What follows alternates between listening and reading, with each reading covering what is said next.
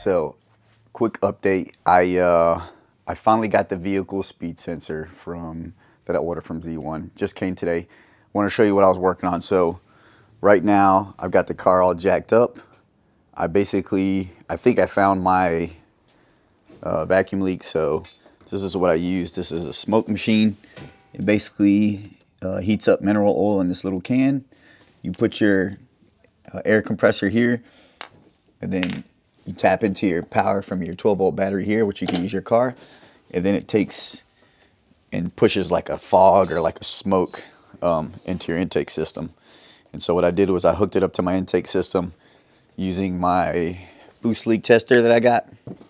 Um, I just I taped off the gauge because I was worried about getting that stuff in there. And then it worked pretty good. I was able to find a leak. Um, it was coming from the uh, lower pipe down there.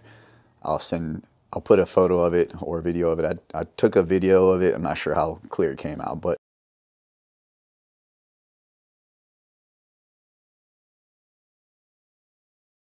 I think I solved that. On top of that, there was some leaks coming from here and there's really no way to fix it. I took this whole thing apart.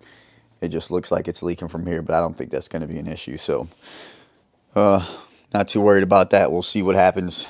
Um, so, vehicle speed sensor, got it right here, brand new. Just came in. Uh, open this sucker up.